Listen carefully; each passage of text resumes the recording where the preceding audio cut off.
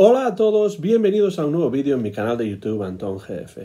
Soy Antón García Fernández y les hablo en esta ocasión desde Vigo, en Galicia, en el noroeste de España. Ya está llegando a su fin esta estancia en la ciudad olívica. Ya muy pronto voy a regresar a mi casa en Jackson, en el estado de Tennessee, en los Estados Unidos de América, pero antes de eh, ya ir eh, haciendo las maletas y preparándome para el viaje de vuelta a casa, quiero grabar un vídeo que se va a encuadrar dentro de la serie Impresiones sobre Jazz, esa serie en la que hablamos de jazz, en la que hablamos de música, en la que hablamos de músicos, de discos, de todo lo relacionado con el jazz que a mí más me gusta. Y en esta ocasión voy a hablar de un trombonista bastante poco conocido a pesar de que en su momento fue una de las grandes estrellas de la era de las big bands, de esa época dorada del eh, swing. Pero era un hombre especial, era un hombre que no sonaba como los demás, era un hombre, un hombre idiosincrático y quien escucha a este hombre jamás lo olvida. Me refiero a este hombre que ahí vemos en la portada de este disco, en la cubierta de este disco, trombón en mano, con sus gafas, con su poco pelo, con su eh, camisa a cuadros, sí, me refiero al gran Bill Harris. Y no, quien alguien, quien, quien se ponga a escuchar a Bill Harris o quien tenga la oportunidad de escuchar a Bill Harris por primera vez, jamás lo va a olvidar. Esto incluye tanto a aficionados como a músicos.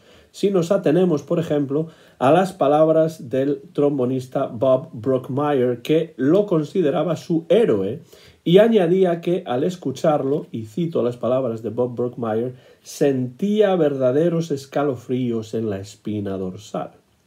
Y no es para menos, porque aunque Harris reconoció la influencia de otros ases del trombón, como por ejemplo J.C. Higginbotham o Dickie Wells, su estilo era tan personal que es muy difícil encontrarle parangón y el sonido que le sacaba a ese trombón es tan especial que más que describirlo, realmente hay que escucharlo. Es una pena que no pueda poner la música de Bill Harris en este vídeo porque eso sería lo suyo, eso sería lo adecuado. Pero, por supuesto, pueden encontrar discos suyos y pueden encontrar también mucha de su música en YouTube.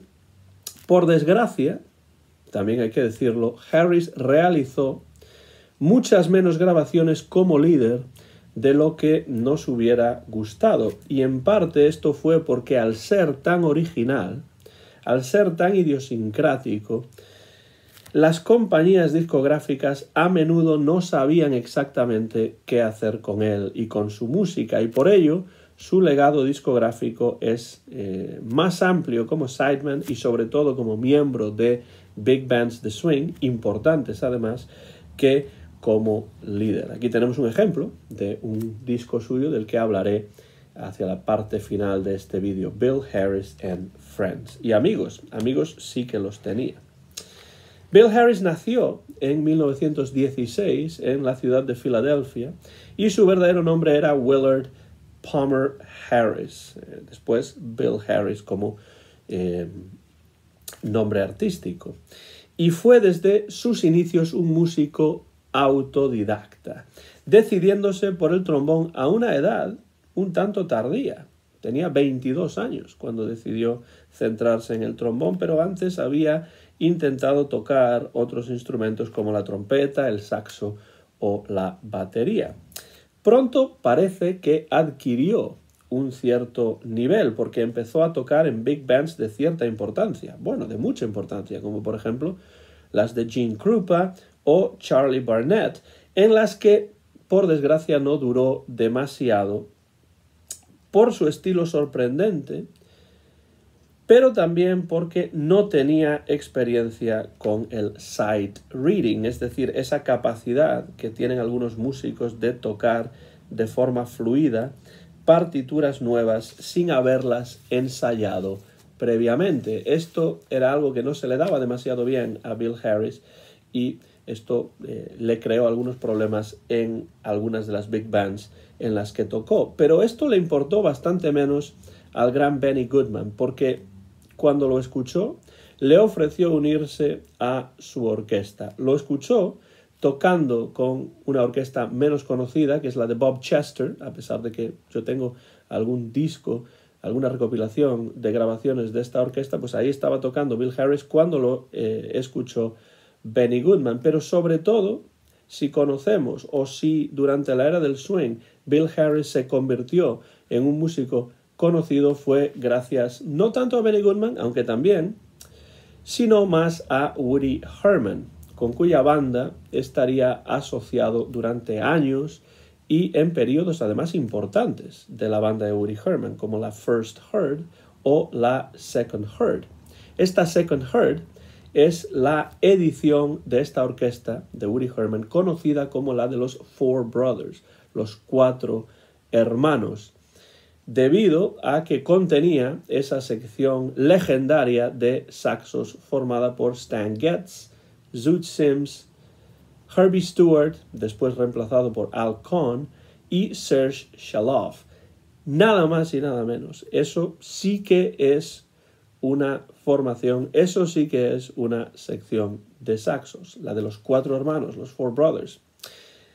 En esa Second Heard, en esa formación de la orquesta de eh, Woody Herman, aparece también Bill Harris con su trombón.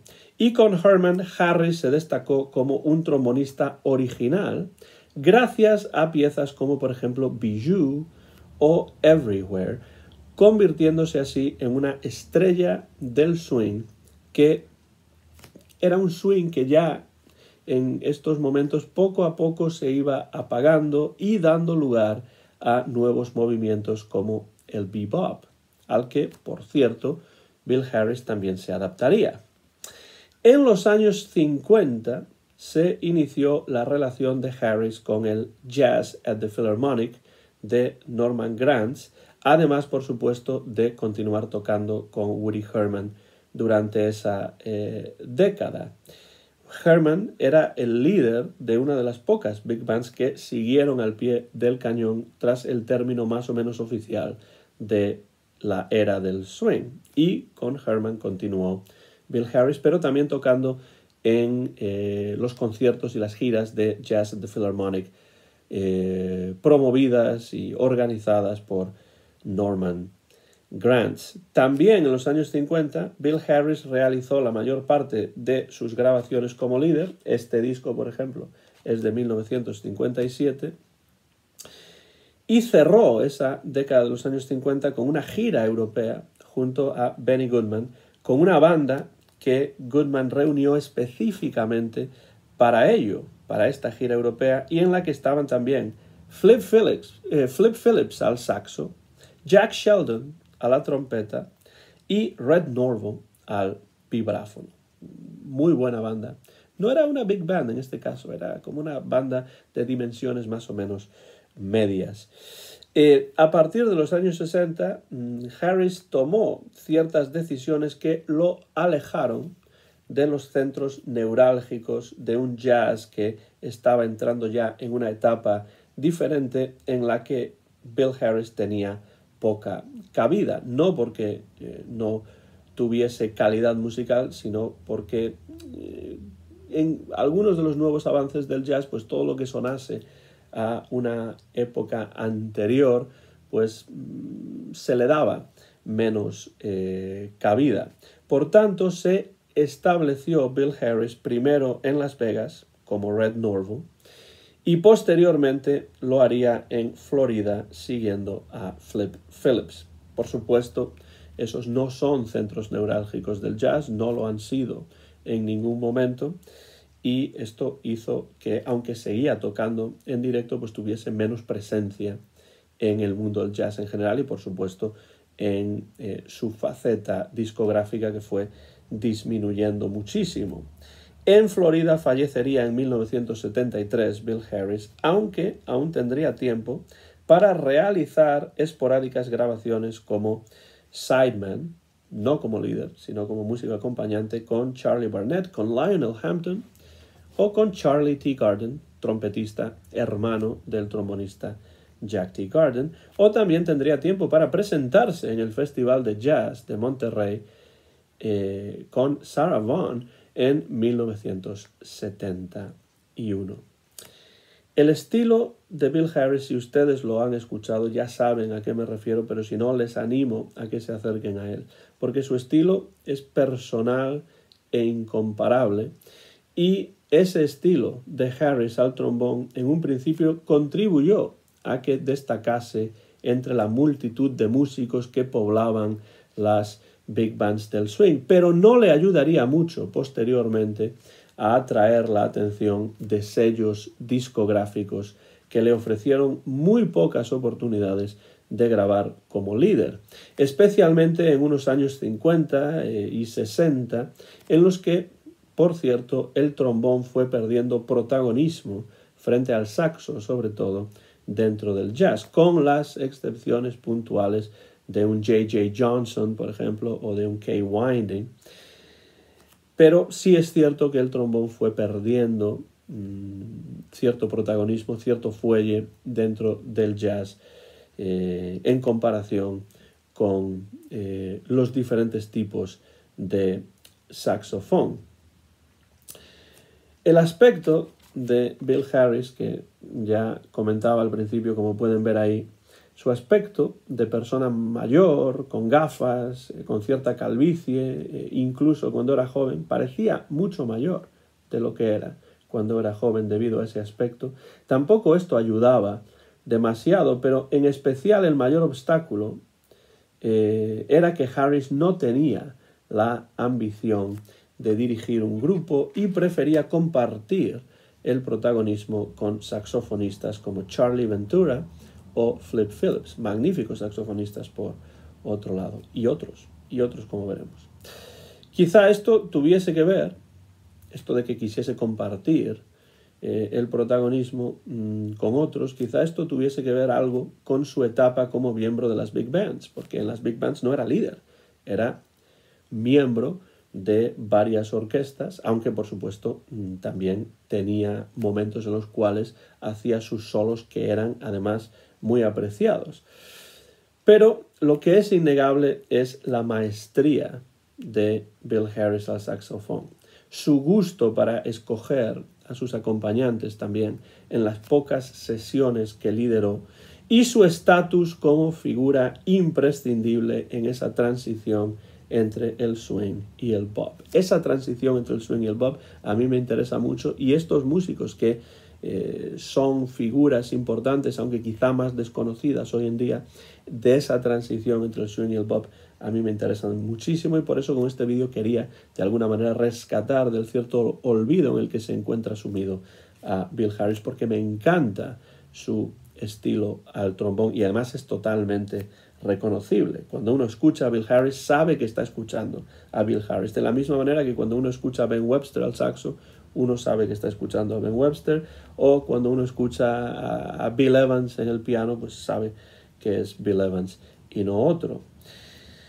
Para definir el sonido de Bill Harris es necesario atender a diversos aspectos que forman además un todo inseparable, sin el cual su estilo no puede entenderse. Harris era un hombre que buscaba siempre explorar todos los registros posibles del trombón, que tenía además una potencia impresionante incluso en las baladas y que era imprevisible en todo momento, porque podía iniciar un solo de, manera suave e intimista para ir después aumentando el volumen y atacando la melodía y atacando las notas con mayor agresividad progresivamente, casi sin que el oyente se diese cuenta de ello. Esto lo hacía ya cuando tocaba en las big bands, pero después también lo continuó haciendo cuando comenzó a tocar con grupos más reducidos. Usaba muy a menudo el eh, vibrato y con esto exprimía al máximo las posibilidades expresivas de las notas, pero no le llegaba solo con el vibrato, sino que conjugaba ese vibrato con eh, notas más breves en staccato y de esa manera su estilo siempre estaba caracterizado por un fraseo que enfatizaba sobre todo el aspecto más rítmico de cualquier melodía. Y en este sentido le gustaba improvisar de una manera que le llevaba a asumir ciertos riesgos inesperados que sorprendían, por supuesto, siempre al oyente. Su música, es cierto, es a menudo excéntrica, como lo era el propio Harris, pero a mí eso es lo que me atrae en parte de su música, porque además es capaz de provocar una emoción inusitada en todos aquellos que lo escuchan tocar.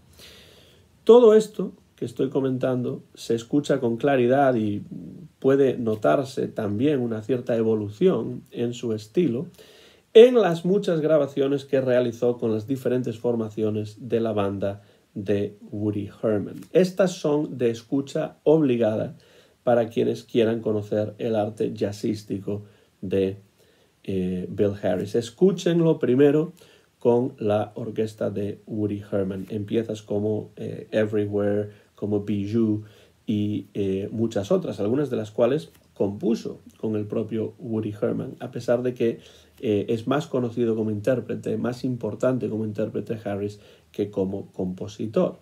Pero también podemos apreciar este estilo de Bill Harris en discos como el que ya he mostrado. Aquí lo tengo de nuevo. Bill Harris and Friends. Una sesión para Fantasy grabada en 1957 en Los Ángeles, en la que comparte cartel con el gran saxofonista Ben Webster. Ahí tenemos a Ben Webster, que es uno de sus amigos, con el que comparte cartel. Ya decimos que suele compartir cartel con algún saxofonista y qué mejor que eh, Ben Webster, con quien dialoga y se entiende a las mil maravillas e incluso tiene algunos momentos divertidos. Y en la sección rítmica, pues bueno, es totalmente una sección rítmica inmejorable. Aquí está ah, por supuesto, Jimmy Rouse, aquí tenemos a Red Mitchell y aquí a Stan Levy. Stan Levy a la batería, Red Mitchell al contrabajo y Jimmy Rouse al piano. Esos son los amigos que tocan aquí con Bill Harris.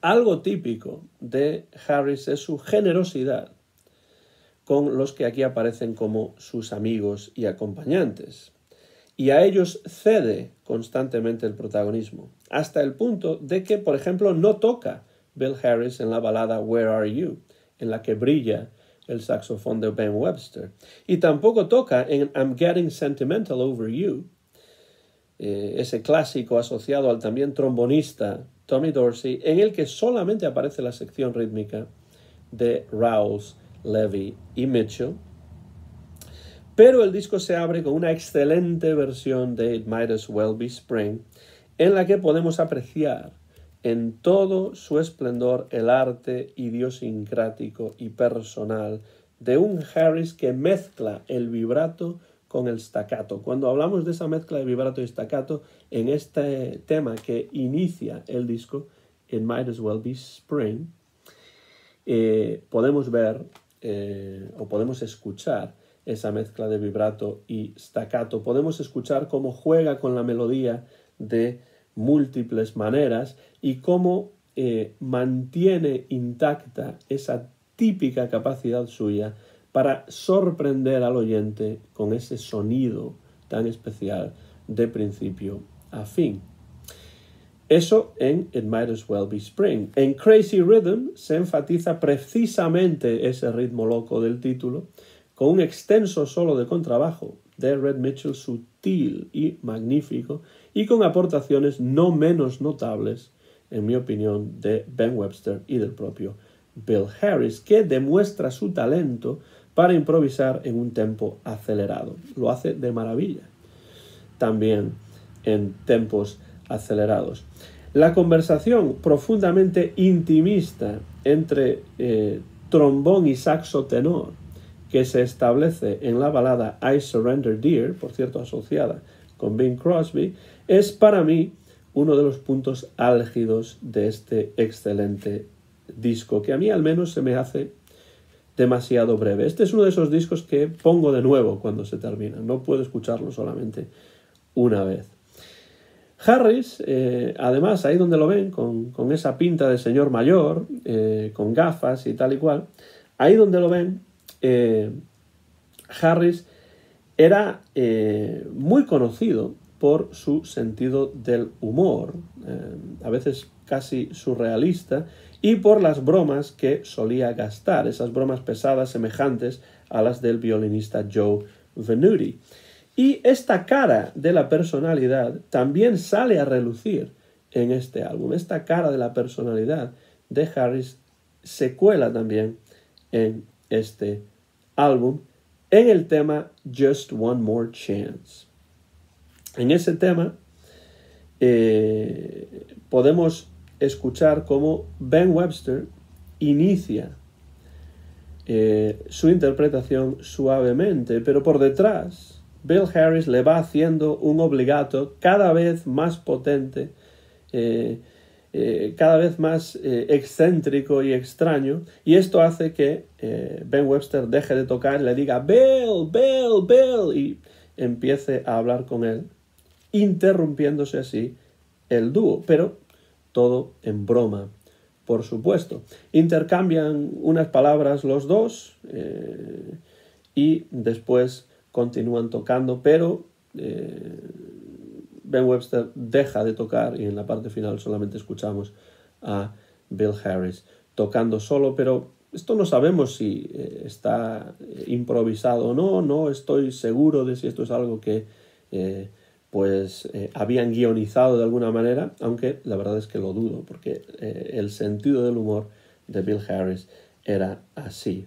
de alguna manera se mofa de Ben Webster, pero de una manera divertida, graciosa, eh, no, para reírse de él, sino por hacerle esa broma pesada de estropear por detrás su eh, interpretación seria de un tema también eh, relacionado con Bing Crosby, que es Just One More Chance. De hecho, cuando toca su obligato, casi recuerda un poco a esa voz más grave de Bing Crosby en el inicio de su carrera cuando grabó por primera vez este solo una oportunidad más, Just One More Chance.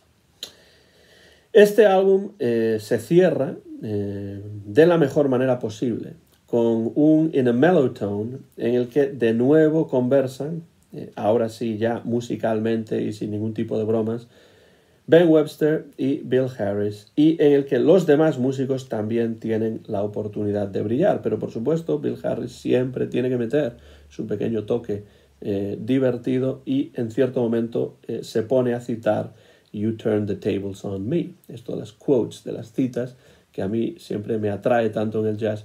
Eh, en este caso, podemos ver o podemos escuchar cómo inserta en cierto momento de este In a Mellow Tone el trombonista eh, algunos compases de You Turn the Tables on Me.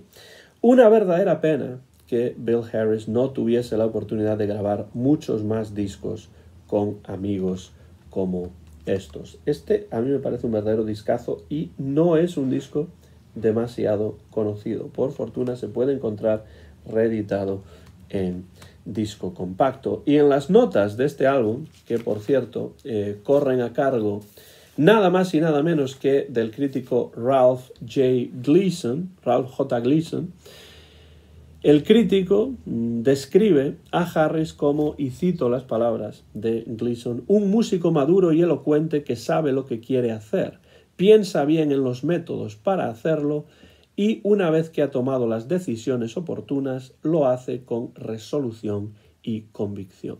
Buena descripción, a la que yo añadiría que Bill Harris hace lo que hace de tal manera que parece sencillo, que parece fácil, que da la sensación de que no le supone esfuerzo alguno y además eh, incluye eh, momentos de originalidad, eh, incluye momentos divertidos y sobre todo un estilo realmente sorprendente. Pero Gleason desde luego hace una acertada descripción de Bill Harris y a mí me gusta incluso más lo que dice de él Steve Wallace en un, en un extenso artículo que le dedica en inglés a Bill Harris en su blog.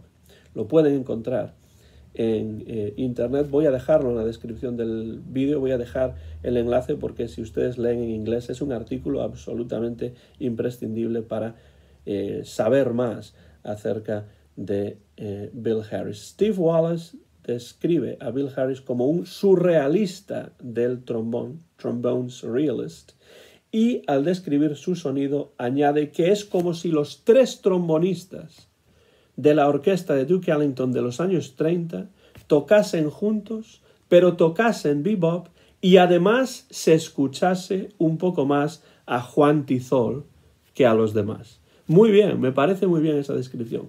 Los tres trombones de la orquesta de Duke Ellington en los años 30, pero tocando bebop y con otro músico realmente original e idiosincrático, que es Juan Tizol, al que ya le hemos dedicado una entrada en estas impresiones sobre jazz sonase un poquito más por encima, porque hay una cierta relación, claro, entre la idiosincrasia de Juan Tizol y la de nuestro amigo Bill Harris. Un músico realmente excelente, sorprendente, único, que si no conocen les invito a que se acerquen a él, porque desde luego vale la pena. Escuchen las grabaciones con Woody Herman y discos como este. Grabó muy pocos como líder, creo que solamente unos tres o cuatro. Este es uno de ellos, se puede conseguir y a mí me encanta. Bill Harris and Friends con Ben Webster, Stan Levy, Red Mitchell y Jimmy Rouse de 1957, grabado para el sello eh, Fantasy. No sé si ustedes conocen a Bill Harris o no. Si lo conocen, dejen comentarios por la parte de abajo de este vídeo y díganme qué les parece, qué discos o qué grabaciones suyas les parecen indispensables. Y si no lo conocen, que sirva este vídeo como una invitación, como siempre, a la escucha de su música, porque estoy seguro de que si les gusta el buen jazz, si les interesa además la transición entre el swing y el bop, si quieren escuchar a un músico original dentro de un mm, instrumento como el trombón, Bill Harris is the man. Bill Harris es la persona, es el músico que hay que escuchar y es el músico que en este caso hemos comentado de forma extensa aquí en impresiones sobre jazz para sacarlo un poco de ese olvido en el que en estos momentos desgraciadamente e injustamente también diría se encuentra eh, sumido. Nada más por mi parte. Pronto volveré a Jackson, Tennessee, en los Estados Unidos de América, a mi casa allí en Jackson y ya eh, voy eh, viviendo los últimos días de este viaje a Vigo que ya pronto toca a su fin. Soy Antón García Fernández y he grabado este vídeo en directo, sin ningún tipo de cortes, en Vigo, en Galicia, en el noroeste de España, a mediados del mes de junio del año 2024, poco antes de regresar a mi casa en Jackson, Tennessee. Eh, mío es el copyright de este vídeo que se publicará en mi canal de YouTube Antón GF muy pronto y que se encuadra dentro de la serie Impresiones sobre Jazz. Como siempre, termino eh, animándoles a que se acerquen a la música de Bill Harris, a que escuchen buen jazz en general, porque ya lo decía Billy Strayhorn, ya lo decía también Duke Ellington, Don't mean a thing that swing. Gracias por su interés en estos vídeos, gracias por su interés también en dejar comentarios debajo de los mismos y hasta la próxima ocasión ya desde los Estados Unidos de América.